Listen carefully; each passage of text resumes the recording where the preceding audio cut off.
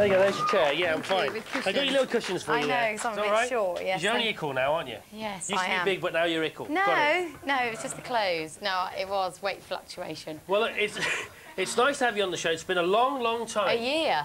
The last time we had a proper chat was at my house, the day you came round for quote-unquote career advice. The day before she announced she was splitting from the Spice Girls. The day And before... so it was all your fault, wasn't it? Yeah, well, the day before she came out to my house, didn't mention it to me I at all. actually, no. Was photographed leaving my house. Yeah, and what were they I got doing? the blame. Yes, I did shout at you, and you had to lift me over your fence, didn't you? I did indeed. That was a rather obscene moment. But that was the Saturday afternoon before the Yeah. Sunday when you announced you were going to split up from the Yeah. band. Now, why didn't you tell me?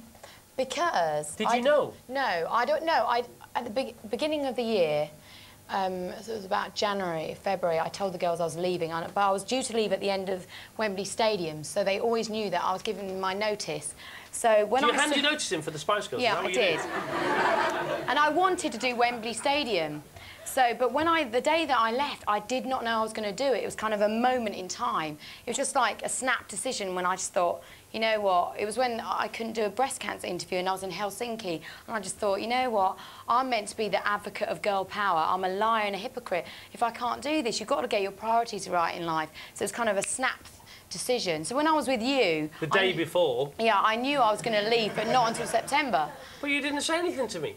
I know because I just, you know, I was keeping it to myself. So like you do. that afternoon, you had no idea that the next day you were going to leave the band. No, I always knew I was going to leave the end, but it was just one of those things. I just thought it's a moment of clarity, and I just thought I've got to go. So what happened in the following 24 hours, 48 hours, week, I was two weeks? myself, basically. I, it was just one of those things that I, you know, I had to hide from the press a little bit because I think at such a time I was very emotional Mm-hmm. and kind of a little bit angry and a little bit sad. And I just thought, you know, it's really good to keep your mouth shut at that moment in time because you don't want to say the wrong thing. And so, and and then I went and hid out with George. Mr. Michael. Yes, I did. that So from me great. to George I've got to say What hello to him. He's watching. Which camera? Said, "Hi, George." Hello, He's at George. home. And he said, "You haven't returned his calls." I have returned his calls. No, he said that Oh, I have. I always return George's calls. I'll do anything for George. me. Okay. So, so, that. we chatted for like five or six hours. Yes, Did did. anything I say have any meaning to you at all? Yes, it did. Uh, because I can't remember what I said. You did. What you, did I say?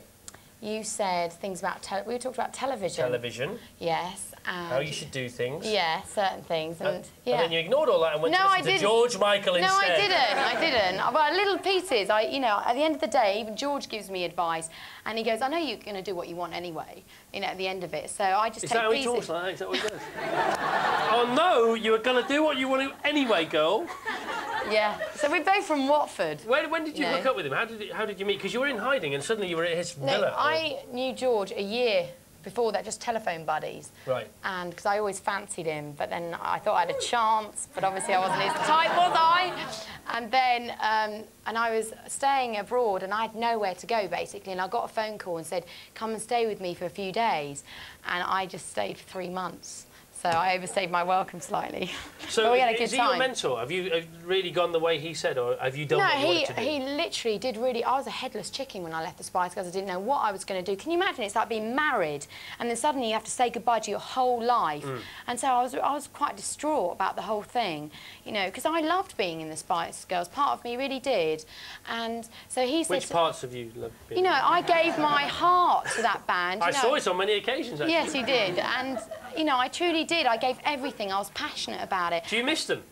Um, that's a really difficult. And the, mo- I tell you what, it's it's like when you start something new. I feel too insecure to go back to my past at the moment. I need to focus on who I am now. You're very deep, though, aren't you, at the moment? You think about things an awful lot. I've always been. I don't know about deep. That's a kind of. what about going word. with your gut now and again? Yeah, I mean, I, I know do your gut's go not there anymore. It's disappeared. For, I don't know where it's gone to, but It's you still are there. beautiful. I mean, you, can I weigh you? I've got to weigh you. I'll weigh John Collins. Oh no! What do you think you weigh? Come on, what do you think you weigh? I don't believe in yourself. Well, uh, I think it's traumatic weighing what do you think? What do you think you weigh? I reckon I'm about eight stone. Nowhere near eight stone. Oh my Just god! over seven, you see. I can guess girls' God, weight from lost 100 weight. yards.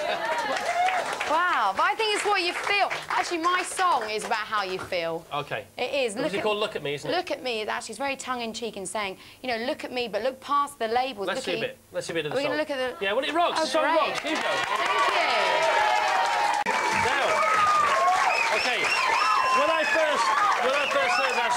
Thought it was a very catchy song and a good one to come back with, but I didn't think it was strong enough. But now, after listening to it a few weeks, it's actually quite a good song, isn't it? I like Well, song. thank you. I would take that as a massive compliment. no, no, no, it's right. It gets there. It's. I don't like the musical bit in the middle where you go, That's a, whoa! that's, a take, that's a piss take. No, uh, yeah, but it's very gay though as well. You know, you get the gay following. Nothing you know wrong you're in that. get the gay following. I Nothing wrong in wrong that. that. But you've gone a bit for the gay market, haven't you?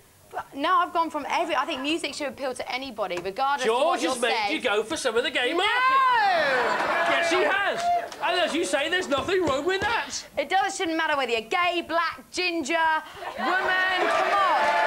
You got to think past that. No, no, no, it doesn't. Do you know what? Let's point at each other girl more. power is now black power, gay Yes. power, woman power, Human real power. Exactly.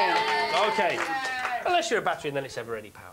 Now, Okay. uh, we're moving on uh, very swiftly. and very- We've got a, you've got your, your documentary out on Channel 4. This is on Wednesday. my God. And it's a Tantrums and Tiaras. And It she goes isn't. nuts in it. She goes completely nuts in it. Can I just say, okay, this, I've got to get the record straight on this because I let this lady do this documentary on me when I was very vulnerable. Obviously, I left the Spice But it's going to be good viewing. It's going to be great viewing, but I am out of the country when, the, when everyone sees it. They're going to find... It was a moment in my time when I was feeling, looking back, I was so depressed. Well, it's on on Wednesday. We've got to watch it. You- you Just leave it like that. Don't say too much Okay, about it. okay. Geri Halliwell, for the moment, thank you very much. Is indeed. that We've got to go. We've got to go. You've got to come back on the show and sing for us. it? All right? Yes, I am. I that? Okay. definitely.